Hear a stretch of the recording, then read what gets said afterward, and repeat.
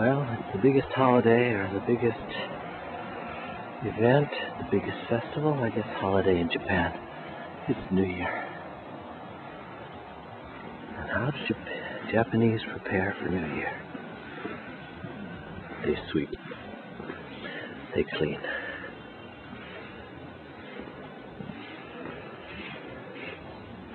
They sweep the garden. This is a shrine, Shinto shrine. It's quite old. It's my local shrine. Suwa Jinja, Suwa Shrine.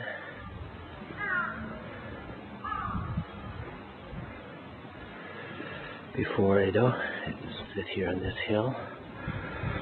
Used to overlook swamps and rice fields. Now it overlooks the love hotels and business hotels down in Nippori. Go to the shrine, the first thing you do is wash your hands, cleanse your soul. The old folks even rinse their mouth out. There's a technique for that, and it's probably already on YouTube, a hundred places. Why is there a metal basket on that water? Keep the pigeons out. Dragon often will pump water.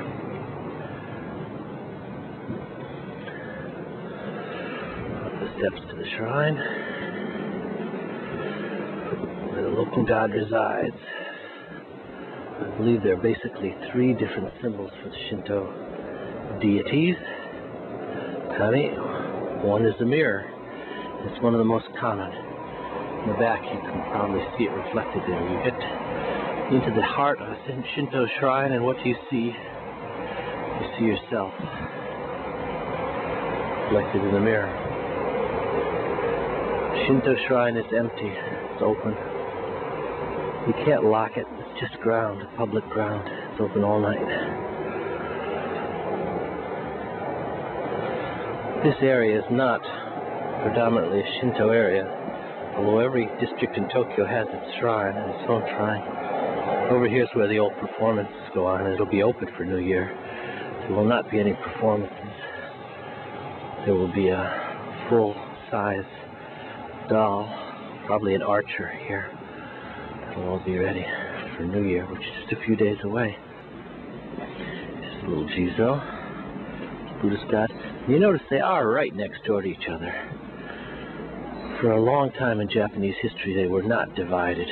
Shinto and Buddhist, just all mixed together. Nobody cared. But when they restored or revolted and brought the emperor back, the emperor's religion is the Shinto religion. And they sort of regenerated it and separated it from the Buddhist images. This is one of my favorite Buddhist images. Ashura, one of the six planes of existence.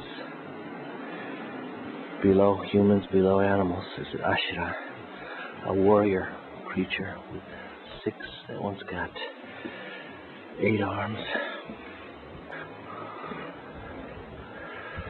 Couple uh, of guardians. This Buddhist temple gate. You don't want to mess with these guys. They're packing. They are all armed. They do protect the place. This bell is the center point for New Year. On New Year's Eve, it's a tradition in Japan, I guess in the Buddhist world, I don't know, but certainly in the Japanese Buddhist world, to ring these bells.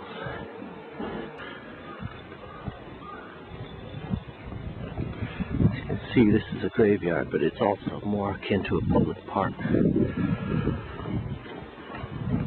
the springtime, we have wonderful uh, cherry blossom viewings, hanamis here, drunken raucous events, in spite of the uh, reverence we hold. Don't kill us, baby. Okay. Most famous grave for me is down here, Takahashi Oden. This gentleman is reading about her.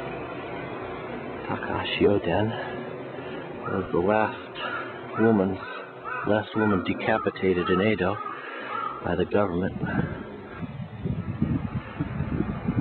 Stonecutters we got here, also flower shops. It's the main business. This is a funeral business, soba shop, and next is the old whatever you want store. brooms, bug spray and toilet paper, tobacco too. Across the street from the kindergarten, Temple Kindergarten.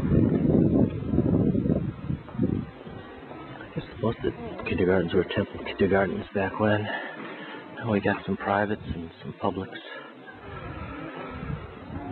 Temple here. We're on a short ride to my studio now. This temple very good for births. Come and pray here for safe and easy birth. New Year decoration, nice one. New Year just a few days away. They're putting up their bamboos. These greens you see next to people's doors when they finish work for the day, Stonecutter. People finish work for the day, for the year. They put up their New Year decoration. That's traditional.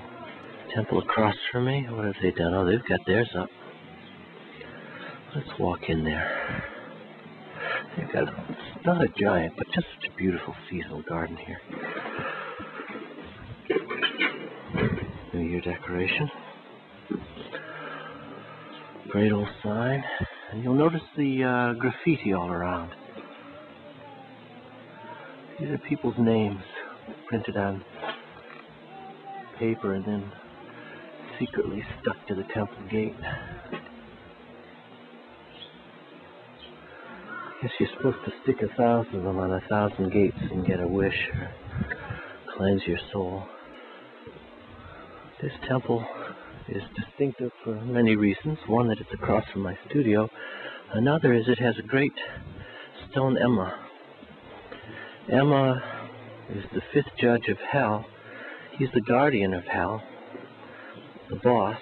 He decides whether your soul goes up or goes down. I think in the seventh anniversary of your death, which makes it an important time to pray. This was carved in the Edo era. He's got his two helpers, one whose face is gone. I expect he was a horse, I expect the other guy was a sheep. Emma has history throughout Asia. This is a smaller temple. It's the temple where I ring the bell. So let's go in and see what it's looking like now. Yeah. We got our cats. Temple cats. Up there there'll be a ceremony. They'll be chanting in the new year. Oh, washing Jizo here too. Who knew? You know, it's so exciting in those days, you don't really know.